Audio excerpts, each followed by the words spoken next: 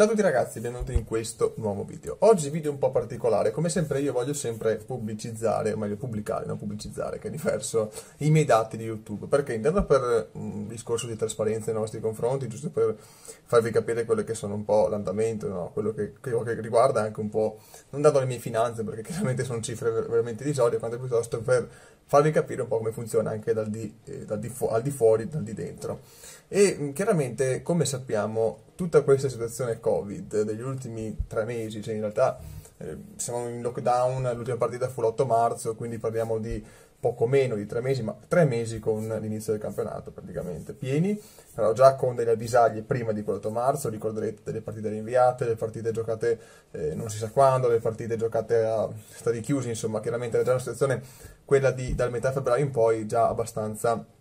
critica per certi versi. Chiaramente volevo farvi vedere un po' e scoprire insieme a voi in realtà perché tutto ciò che vi farò vedere sono scoperte che ho fatto adesso perché non sto a guardare gli, analytics ogni giorno. Sono insomma quelle che è la, la fotografia di quello che, eh, dell'impatto che ha avuto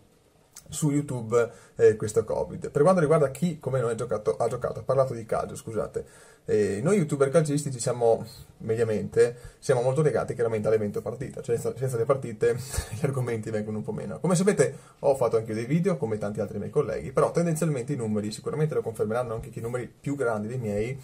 hanno avuto delle difficoltà al netto di magari collaborazioni di live, tipo ad esempio Juventus ha sicuramente eh, sbancato eh, tutto perché ha fatto una bellissima cosa con le live con dei personaggi molto influenti, questo perché chiaramente eh, Zampini ha delle conoscenze importanti visto che lavora anche per TV. Chiaramente per tutti gli altri che hanno, come me, un canale YouTube normalissimo in cui posta i propri pensieri, i propri video, chiaramente la cosa non è facile, eh, facile da portare avanti nella scuola stessa, mm, insomma, portata di prima o maggiore, ma sicuramente non maggiore.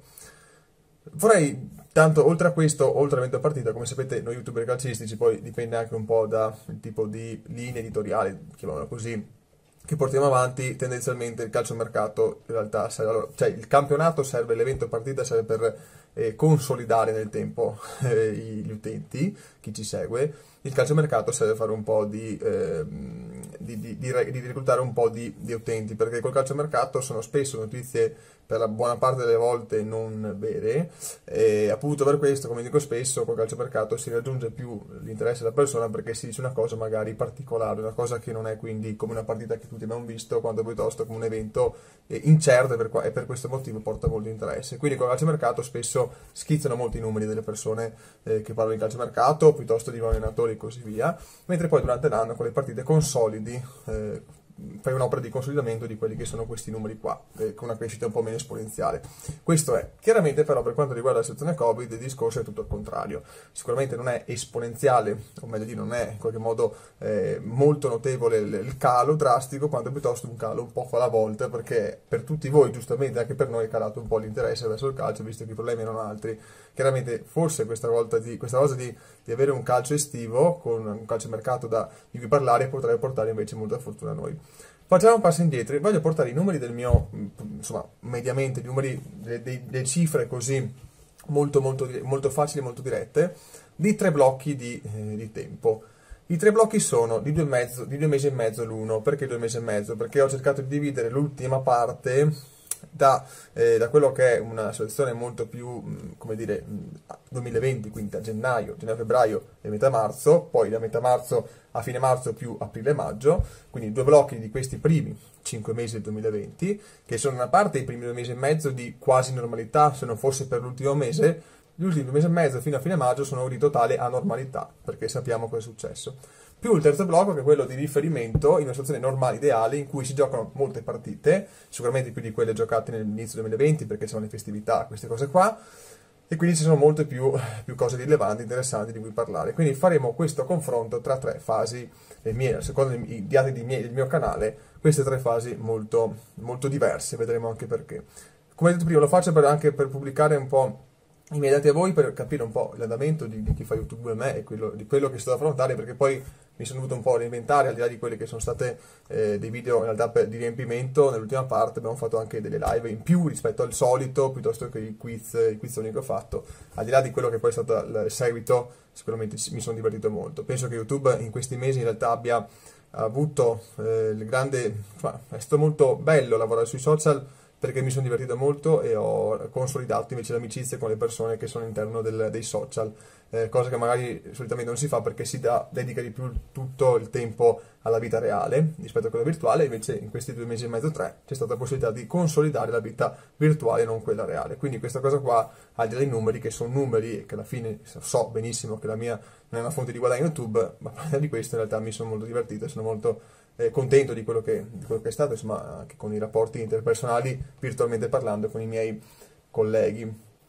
Primo screen, questa situazione non ce l'è data, me lo dico io, tra metà ottobre, il blocco di un mese e mezzo tra metà ottobre e fine dicembre. Abbiamo um, sicuramente i numeri più grossi legati al fatto che sono tante partite contando di Champions League, quindi ci sono sicuramente modi di raggiungere più persone perché le partite di Champions League tra ottobre e dicembre sono sicuramente più interessanti di magari altre partite minori della Serie A. Appunto per questo, in quei due mesi e mezzo ho fatto 42.685 visualizzazioni, con tempo di visualizzazione in ore 1948 ore, più 24 iscritti, che sarebbe altro, non sarebbe che la, la, il delta tra gli iscritti che ho fatto e quelli che sono disiscritti, perché ci sono tanti che si disiscrivono e poi chiaramente lo dirò dopo il perché. Entrate stimate 31 dollari 66 conversioni in euro, sono un po' meno in euro mi pare, sono 30 euro, facciamo così di mezzo c'è anche le donazioni e tutto quanto. Questo, questa è la mia fotografia di quei due mesi e mezzo. Quindi la situazione ideale, normale, nel momento in cui c'è un campionato che va avanti senza grandi intoppi, perché il coronavirus ancora era eh, per fortuna, ma in realtà poi purtroppo perché è arrivato una cosa lontana, anzi forse neanche, neanche conosciuta eh, veramente, perché poi è subentrata solo da dicembre e gennaio in poi, comunque questo è un altro discorso. Andiamo avanti con lo screen 2, la situazione dei primi due mesi e mezzo di calcio, che come vedete è dimezzata, se non di, anzi più che dimezzata.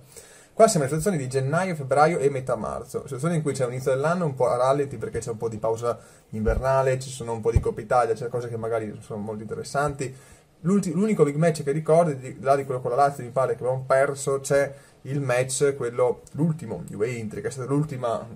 lo sprazzo di, di energia, che è all'interno di questi dati, perché ho voluto, intanto piove perché piove, perché sta piangendo a vedere questi dati, eh, è, entrato di questo, questo, intervallo di tempo, perché essendo appunto giocato l'8 marzo, l'intervallo di tempo finisce il 15.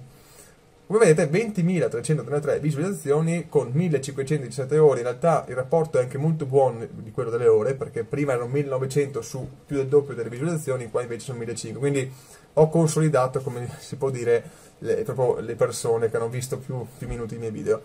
12 iscritti in più, cioè al netto di chi si è iscritto e chi si è iscritto, quindi potenzialmente potrebbero essere 20 iscritti e 8 disiscritti, 57,99 euro di, entrate, perché sono maggiori di quelle del, del, del blocco prima? Perché ci sono molte donazioni visto che ho iniziato con le collaborazioni con la musica di Angelo Onlus e molti di voi hanno donato dei soldi che poi ho già girato come donazione appunto eh, alla, alla, questa Onlus. Appunto per questo quel numero là prende sia quelle, le entrate legate alle visual sia le entrate legate alle donazioni in live. Quindi già un drastico calo che chiaramente, anche se fosse stato un, discorso momentaneo, c'è poi la Champions League che sarebbe ricominciata, di questo intervallo temporale c'è solo una partita, quella contro Lione, ma pensate voi se avessimo comunque superato magari il girone, cioè il turno in realtà, avremmo potuto vedere altre partite più interessanti, quindi chiaramente più persone che guardano i miei video sicuramente quel numero sarebbe stato molto più positivo eh, di lì al mese, al mese di marzo, aprile e così via. E infine arriviamo all'ultimo intervallo, che è questo. L'ultimo intervallo è un disastro, un disastro perché tutto cambia, eh, al di là delle entrate che poi sono molto così condizionate dal fatto delle donazioni, quindi sono dimezzate, ma anche perché in realtà erano eh, più che dimezzate perché erano tantissime, oltre quelle che ho generato con le visual rispetto al blocco precedente. Tra quindi metà marzo e fine maggio abbiamo 17.000 visualizzazioni, abbiamo avuto 3.000 circa in meno del, del blocco prima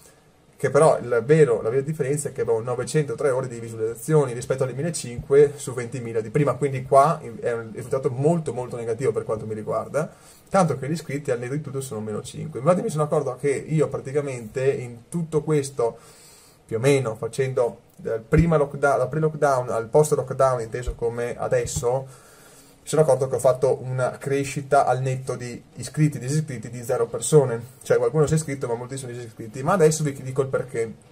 Tanto perché per un discorso generale un po' capito a tutti perché si è perso interesse, quindi persone che non hai fidelizzato molto bene vanno via perché non hanno più voglia di seguire il calcio. In quel momento il calcio non lo seguono, magari fanno pulizia, più la pulizia che fa YouTube sempre, la fa sempre YouTube, gli account quelli là inattivi Ma oltre a questo è un discorso che molti utenti, noi facciamo vlog sul, sul calcio, non vengono fidelizzati, nel senso, che, nel senso che se tu fai un video, io ho fatto un video in cui c'è, tanto perdonatemi la pioggia, ma eh, a, a, perché più, più, parlo di questi atti osceni, più piove perché sta piangendo anche il cielo. Al di là di questo, fai dei video magari come il video che ho fatto io che è arrivato a 48.000 visualizzazioni perché è arrivato, è andato su, non so come, con l'algoritmo, tra l'altro parlo di algoritmi, è un argomento molto, molto recente, appunto per questo tante volte la gente si iscrive, no? si iscrive a questo video perché vede il video, gli piace in quel momento, poi nel tempo non riesce a fidelizzare perché si aspetta contenuti molto simili che io non porto, magari porto molto qua e là. Quindi appunto per questo motivo eh, diciamo che c'è molta difficoltà nel fidelizzare eh, le persone con vlog calcistici, a meno che questa persona non si affezioni a te nel tuo modo di porti, ma spesso viene coinvolta nei tuoi contenuti solo per contenuti molto più mainstream che poi in realtà non puoi riproporre nel tempo. Appunto per questo motivo queste persone qua prima o poi si iscrivono. Questa è una cosa che vale un po' per tutti i youtuber, ma specie per noi. Specie per noi perché chiaramente, eh, meno per quanto riguarda il calcio, riguarda la Juventus, come sappiamo le opinioni sono molto divergenti da tifoso a tifoso e questa cosa qua spesso ha portato scontri tra tifosi stessi e scontri tra youtuber stessi perché poi alla fine eh, è vero ci facciamo anche un po' una guerra magari anche silenziosa appunto per, per fazioni diverse. Appunto per questo motivo è difficile fidelizzare perché eh, spesso degli utenti che seguono uno che la pensa totalmente diversa dall'altro, dall'altro youtuber non seguirà entrambi eh, youtuber, ma solo uno o solo l'altro. Quindi è un po' un discorso, si va ad erodere le quote di mercato dell'uno e dell'altro, diciamo così, in un termine molto più eh, quasi, eh, quasi, economico. E appunto per questo motivo, eh, questo meno 5 qua, che aveva un momento di disinteresse sul calcio. Piove sempre di più perché chiaramente questi numeri qua sono più osceni. Farò l'ultimo check quando vediamo l'effetto di, questo, di, questa, tutto ciò che sta accadendo. Quindi giugno, luglio e metà agosto, perché poi metà agosto finirà questo campionato, ci sarà un po' di stallo per la ripresa del campionato successivo. Quindi vorrei vedere se in questi due mesi effettivamente vado a confermare la mia teoria del fatto che col calcio che comincia c'è più interesse, col calciomercato di mezzo ancora di più e speriamo che questo 17.000 torni, non dico ai 40 e passa mila del primo blocco che vi ho fatto vedere, ma perlomeno a un buon 30.000, cioè che c'è una buona crescita e quegli iscritti sia in qualche modo positivo. Ecco, questo, questa è la mia analisi e chiaramente sono vicino a tutti gli youtuber che, che, soffrono come me, ma chiaramente questo va anche a spiegare una cosa molto importante ed è per questo che il calcio deve ricominciare e per questo che sono a pro, a favore di questa ripresa. Perché se noi, il nostro impatto su YouTube è stato questo, e per YouTube, per molti di chi fa, di chi fa YouTube è un passatempo, al di là di chi, di chi magari percepisce qualche soldino in più di me, pensate a chi lavora col calcio pensate a tutte le anche banalmente i giornalisti, cioè tutto, tutto il mondo mediatico che lavora col calcio che si è trovato privato di uno dei settori fondamentali di questo paese. E appunto per questo il calcio deve cominciare perché dà lavoro, sfama diverse persone, banalmente youtuber, ma non è il nostro caso perché siamo tutti quanti in modo anche così per passione, non per motivi professionali, però pensate a chi fa del calcio una professione, che non sono solo i calciatori. Questo è un piccolo esempio di quello che può essere stato l'impatto ancora più aggressivo in un mondo più professionale legato al calcio, quindi tutto l'indotto, dai media alla ristorazione, ai trasporti, a tutto quello che ne consegue. Chiaramente parliamo di ovviamente 250.000 persone che lavorano nell'indotto calcio, eh, miliardi, parliamo di miliardi di euro, tutto il giro di soldi. Quindi questa è una piccola fotografia, una goccia del mare del calcio che in realtà ripropone quello che è sicuramente un andamento purtroppo negativo del, del, mondo del calcio in questi mesi qua, come detto prima, al netto di Juventus che ha lavorato benissimo, secondo me veramente i complimenti a, a, loro sono sincerissimi, perché hanno trovato un modo molto, molto facile in realtà, ma non per questo scontato e banale, di eh, raggiungere persone in un momento di, di, di, così, di pausa, eh, grazie a, alle loro live. Quindi questo è, quella è però un'eccezione che conferma una regola, in realtà, nient'altro che questo. Io e la pioggia che è sempre più scrosciante, tra l'altro oggi, l'ho detto anche in live, devo cominciare oggi le, gli allenamenti di karate all'aperto, distanziati, quella chiaramente ha fatto tre mesi di, di, di mai pioggia, di siccità, di, e piove oggi, questo, questo, è, questo, è, il karma, questo è perché mi vogliono bene e appunto per questo vi invito a scrivervi per, come, come, consolazione rispetto a questa situazione di, di profonda crisi interiore. Forza Juve come sempre ragazzi, ci vediamo fra due mesi e mezzo a vedere i numeri, dai, voglio, voglio, sono curioso a questo punto. Ciao! Siamo sempre qua. Sto